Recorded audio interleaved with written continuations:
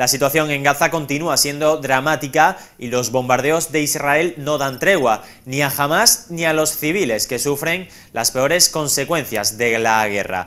Esta pasada noche, una de las localidades más afectadas por los ataques ha sido Beit Laiyá, en el norte de la Franja de Gaza. Este jueves sus habitantes encontraban la ciudad arrasada y muchos han tenido que enfrentarse a la muerte de sus familiares. El ejército israelí ha informado de que en las últimas horas se han hecho con el control de un bastión de Hamas situado en el norte de la Franja de Gaza.